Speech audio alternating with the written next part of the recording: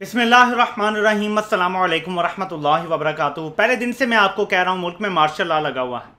पहले दिन से मैं आपको इस प्लेटफॉर्म से बता रहा था कि जो लोग, जो यूट्यूबर्स और जो मीडिया के लोग बार बार कहते हैं, जी, मसला हल हो गया है, जी का जाना ठहर गया है इलेक्शन अनाउंस होने वाले हैं। मैंने आपको बताया था कि जिन्होंने इतना बड़ा अहतमाम किया, इतना बड़ा शबखून मारा मार्शल लॉ लगाया, रात को बारह बजे अदालतें खुलवाई, वो इतनी आसानी से हार नहीं मानेंगे। बात इंतहाई गहरी है, असरात बड़े दूर रस हैं।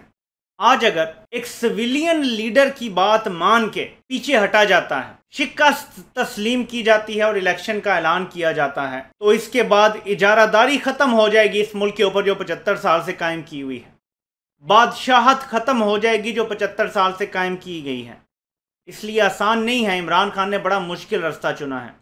मेरे पाकिस्तानियों, इमरान खान ने तो अल्लाह पे भरोसा करके ये ऐलान कर दिया है, लेकिन मैं आपको बता रहा हूँ, अपने मुल्क की इज़्ज़त, गैरत, आज़ादी सब की हिफाजत अब आपके ज़िम्मे है।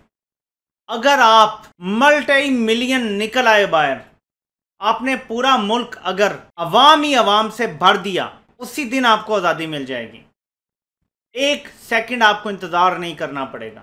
ये उस तरह का लॉन्ग मार्च नहीं होना चाहिए कि एक सड़क भर गई थोड़ा सा लोग रुक गए, गर्मी से डर के भाग गए, ऐसा नहीं। नासीन, वो कौन लोग हैं जो अब भी इमरान खान को धमकियाँ दे रहे हैं? ये वही लोग हैं जिन्होंने रात को 12 बजे अदालतें खुलवाई थी। ये वही लोग हैं जिन्होंने बड़ी बड़ी गारंटियाँ अमेरिका को दे दी हैं, इसराइल को दे दी हैं, ये बात जहन में रखिएगा। ये वही लोग हैं जो इमरान खान को प्रेस कॉन्फ्रेंस करने से रोकते रहे। ये वही लोग हैं इन्होंने प्रेस कॉन्फ्रेंस से करने से पहले भी इमरान खान को एक धमकी दी और मैं आपको वो सुनवाता हूँ। ये आप शायद क्लिप सुन चुके हों लेकिन मैं इसको रिकॉर्ड का हिस्सा बनाना चाहता हूँ ये ज़रा सुने। बंद कर दो इसको। ये सारा इस पर डिस्टर्ब होकर बंद कर मैं करता हूँ मैं करता हूँ। कि रिकॉर्ड हम कर तो ये तो आपको ट्रैक कर दे। या इमरान खान से बात करना चाहता है कोई बंदा और कह रहा है कि अगर ना की तो आपको ट्रैप कर दिया जाएगा? या ये कहा जा रहा है कि आपने कॉल दी तो आपको ट्रैप कर दिया जाएगा? इमरान खान जवाब देते हैं कि कर दें। यानी ट्रैप करने की धमकी दी जा रही है। ट्रैप कैसे हो सकता है? क्या ऑप्शन है? गिरफ़्तार कर सकते हैं। इस्लामाबाद फौज के हवाले करने की बात हो रही है, वो हो जाए। और ये एक्सपेक्ट किया जा रहा है कि अवाम फौज से तो नहीं टकराएगी, सो मसला कोई नहीं। टैंक आ जाए सड़कों पे। क्या हो सकता है? इलेक्शन कमीशन से इमरान खान को नैल कराने की धमकी दी जा सकती है। इमरान खान को कहा जा रहा है कि हमसे बात करो। इमरान खान ने बात नहीं की। या आपने देख लिया कि शाह महमूद कुरैशी ने फ़ोन उठाया तो इमरान खान ने कहा कि बंद करो इसको। उन्होंने फिर भी बात सुन ली। कि Shah Mahmood Qureshi one of those people जो हमेशा मुजाकरात रिकनसिलेशन बातचीत करेंगे। कई वक्त ऐसा होता है कि बातचीत से बात आगे निकल जाती है। फिर करने का मकसद नहीं रह जाता। तो ये बात बिल्कुल वाजह हो गई है कि आखिरी वक्त तक इमरान खान को धमकियाँ दी जा रही हैं कि तुम्हें ट्रैप कर दिया जाएगा। तो मेरे पाकिस्तानियों हमारी गैरत का सवाल है। इमरान खान अपनी ज़ात के लिए नहीं, बाहर निकल रहा।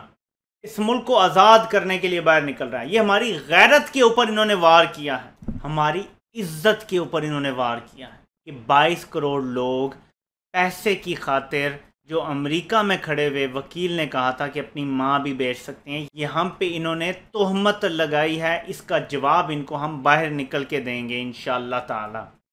ये जो डॉलरों की चमक देख के बिक गए और आज मैं एक और पॉइंट उठाना चाहता हूँ। मुझे ये बात क्योंकि कंफर्म नहीं हो रही, और मैंने इस पर कोई दोबारा इसका फॉलो अप नहीं किया। आपको याद होगा कि जो लंदन में एक हुआ सेटलमेंट का मामला हुआ, जी के नैब ने उसको पैसे देने हैं और नवाज़ शरीफ, और मैं उस बंदे का अब नाम नहीं लेना चाहता। उसने ज़िक्र किया कि नवाज़ शरीफ के या इसके बेटों के सऊदी अरब में अकाउंट से मुबैना तौर पे एक अरब डॉलर निकल के सिंगापुर में किसी के अकाउंट में गए हैं। और जबकि ये बात है, उसके बाद से आप देख लें कि हालात इमरान खान के लिए कैसे हो गए। सब इमरान खान के ख़िलाफ़ हो गए। ये एक अरब डॉलर क्या किसी एक शख्स ने वसूल किया है? तीन, चार, पाँच लोग हैं जिन्होंने आपस में तकसीम किया है, बीस के बीस बीस करोड़ डॉलर, क्योंकि एक अरब डॉलर का मतलब आपको पता है क्या है? आज के दिन इसका मतलब है दो सौ अरब रुपया। अगर चार बंदे आपस में तकसीम करें तो पचास अरब रुपया हर एक बंदे के हिस्से में आता है। ये इतनी दौलत है। ये उस टाइम खबर थी, ना मीडिया ने उठाई मैंने भी इसको इग्नोर कर दिया, लेकिन आज बैठे बैठे मुझे ख्याल है कि यार हालात तो उसके बाद ही ख़राब होना शुरू हैं, वो जब से एक अरब डॉलर की खबर आई थी।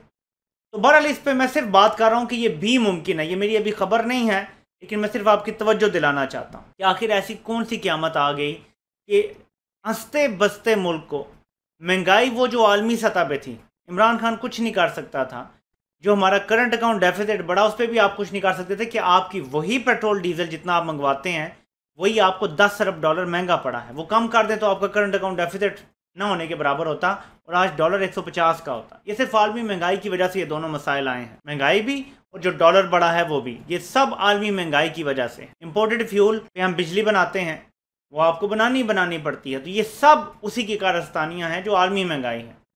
और पिछले वालों ने जो प्लानिंग नहीं की थी कि इम्पोर्टेड फ्यूल पे सारे बिजली के मनसूबे लगा गए थे।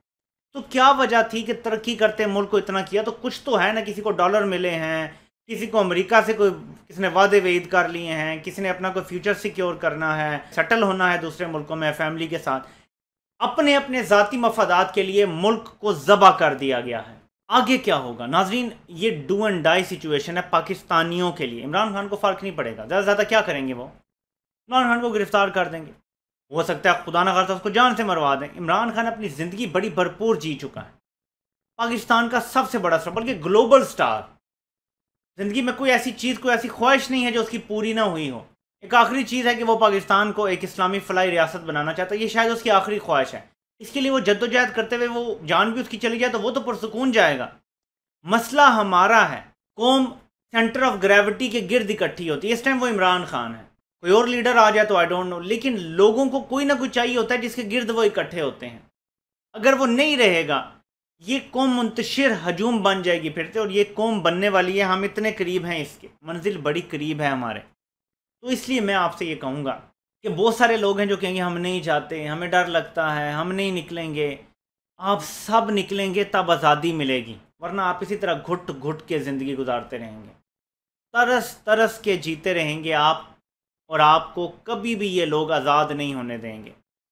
आपके फ़ैसले हमेशा बंद कमरों में होंगे, आपसे पूछा नहीं जाएगा, जबकि हमारा आइन ये कहता है कि इस मुल्क के फ़ैसले और ऑर्डर जो है वो अवाम करेंगे। अवाम ही अपने हुक्मरान चुनेंगे और हुक्मरान अवाम को सर्व करेंगे। लेकिन आइन पे कभी अमल नहीं होगा जब तक हम खुद खड़े नहीं होंगे और आइन पे अमल करवाएँगे नहीं। मैं आपसे शुरू से कह रहा हूँ, जब से मैंने ये चैनल बनाया था, इस मुल्क के फ़ैसले बंद कमरों में नहीं होंगे, नहीं होने चाहिए। लेकिन इस दफ़ा फिर हुए हैं, लेकिन हमें रोकना पड़ेगा इसको। अगर हम इसको बर्दाश्त करते रहेंगे तो ये ऐसे ही चलता रहेगा। इमरान रियाज खान की मैं अभी वीडियो देख रहा था।